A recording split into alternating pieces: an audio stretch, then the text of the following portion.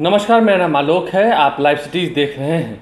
Bihar BJP के meeting में जो कुछ भी हुआ है, यदि वह आने वाले दिनों में दिखने लगा तो इससे क्या एनडीए में मुश्किलें बढ़ेंगी? हम आपको बता रहे हैं, कल बिहार बीजेपी के जितने नेता हैं, सभी सांसदों को बुलाया गया पार्टी दफ्तर में, दिल्ली के पार्टी दफ्तर में, जहाँ पर बैठक हुई। जेपी नड्डा, जो कि राष्ट्रीय अध्यक्ष वहाँ मौजूद थे। संजय जायसवाल, जो कि प्रदेश अध्यक्ष हैं, वो भी मौजूद थे। तस्वीरें आप देख रहे होंगे, कल बड़ी बैठक हुई है, बड़ी मीटिंग हुई है। और इस मीटिंग के दौरान बातें जो सामने निकल के आई हैं, वो स्पष्ट ये है कि बीजेपी को भी सम्मानजनक सीटें मिलनी चाहिए। सभी सांसदों ने कहा कि यदि बीजेपी को सीटें ठीक नहीं मिलती हैं, कम मिलती हैं जेडीयू से अगर तो ऐसे में बीजेपी के कार्यकर्ताओं का जो मनोबल है, वह गिरेगा। बिहार में बीजेपी का अपना जनाधार है।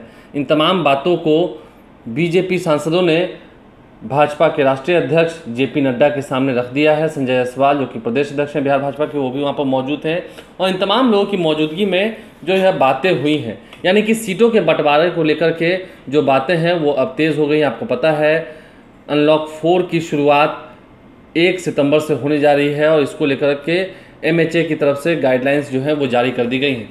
अब राजनीतिक कार्यक्रम भी, जिसमें सौ लोग शामिल होंगे वह हो सकते हैं। वो भी वहाँ पर फ़िज़िकल डिस्टेंसिंग के नियमों का पालन करना है सैनिटाइज़र का इस्तेमाल किया जाएगा।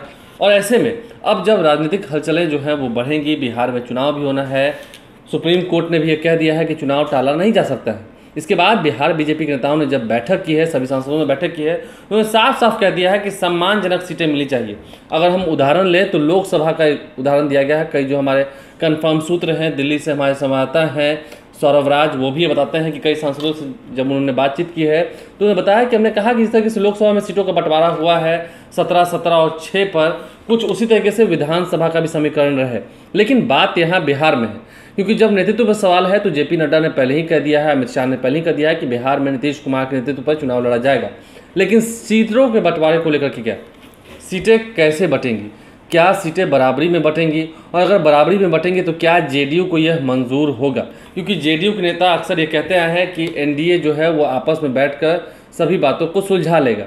लेकिन बिहार भाजपा के जितने सांसद हैं, जब वो, उन्होंने बैठक की है दिल्ली में, पार्टी मुख्यालय में, तब वहाँ पर जो बातें निकल के आई हैं, वो कहीं ना कहीं चौंकाने वाली हैं।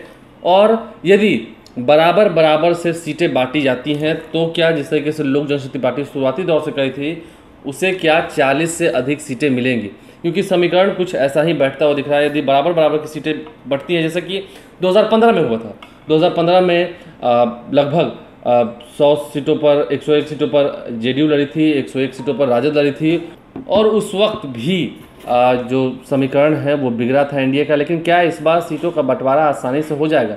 महागठबंधन की तरफ़ तो एनडीए के नेता झाँक रहे हैं लेकिन क्या एनडीए के अंदर सीटों के बंटवारे को लेकर के लास्ट में सिर्फ़ फुटबॉल की स्थिति तो नहीं होगी? आप लाइव सीज़ सब हैं, हमारे चैनल को सब्सक्राइब कर लें साथ साथ फेसबुक पेज भी लाइक करें। इसके अलावा ट्विटर हैंडल पर लाइव सीज़ को फॉलो करें। धन्यवाद।